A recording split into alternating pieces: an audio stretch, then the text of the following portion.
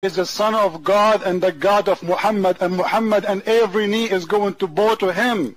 Jesus, he said in the judgment day, bring them in front of me and slay them because he's a judge. And in your book, it says, Hakaman muqsitan. Jesus Christ will be the judge in the judgment day and he was going to be absolute judge because he is God.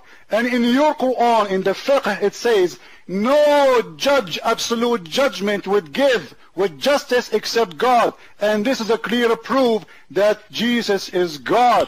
In the same time, in the Quran, your Quran, in chapter 16, verse number 17, it says, the one who do create is not the same who create not.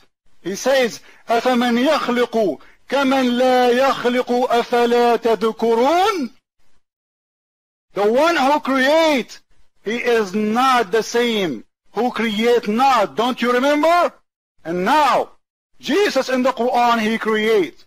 And this is mean that Jesus is God. And not only that, he is a lot more higher than Muhammad because Muhammad never created any. Because the verse say clearly, the one who create is not equal to the one who create not.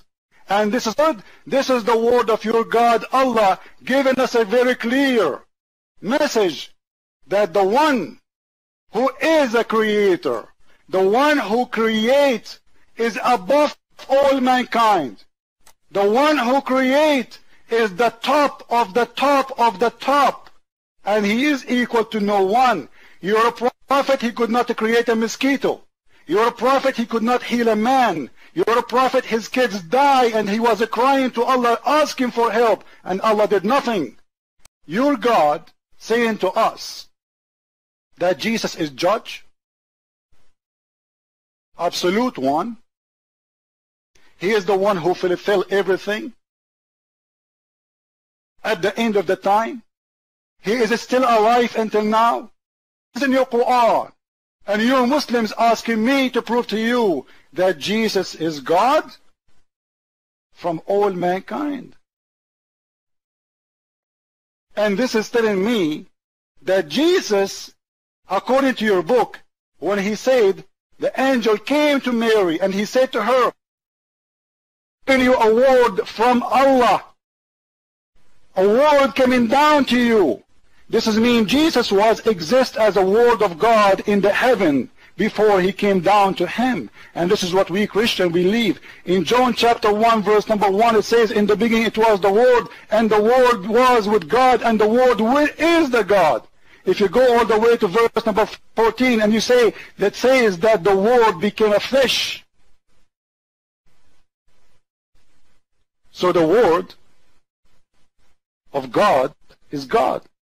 And this is what your Quran saying, that the word of God is God. And let me ask you, and I challenge any Muslim in here to answer, the word of God is eternal or not?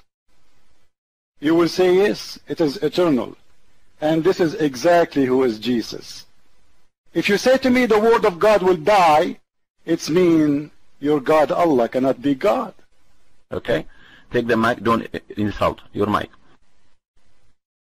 Sir, I'm not insulting. I say what I believe. Are you going to...